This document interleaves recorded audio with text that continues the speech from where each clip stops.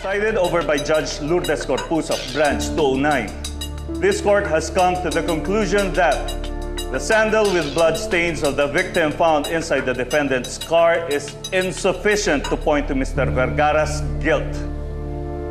That this court found the testimony of the prosecution's star witness doubtful to confirm Christian Vergara's accused crime, with witnesses' questionable credibility based on her police records. On the other hand, the court found the sex video presented by defense and the five testimonies of their witnesses that contradict the testimony of the prosecution's witness substantial to prove Mr. Vergara's innocence, with the victim Vince Fontanilla's mental condition that made him incapable to deduce the accused's. Wherefore, for lack of sufficient evidence and for failure of the prosecution to prove the guilt of accused beyond reasonable doubt, the court reverses the decision dated March 11, 2003 and acquits Christian Vergara for the crime of kidnapping. So ordered.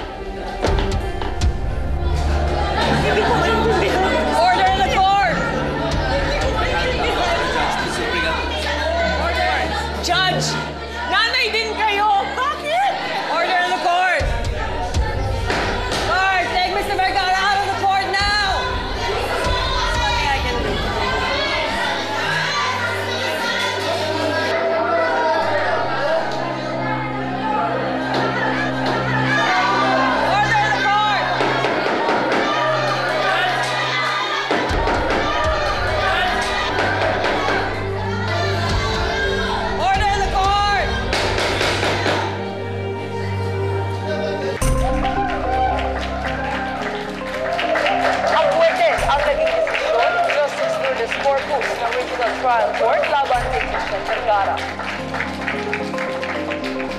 Nako, mabuti na lang hindi ka nila pinapunta doon.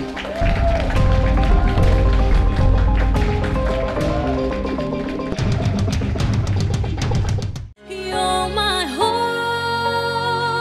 and together we share this love for us to be happy and free.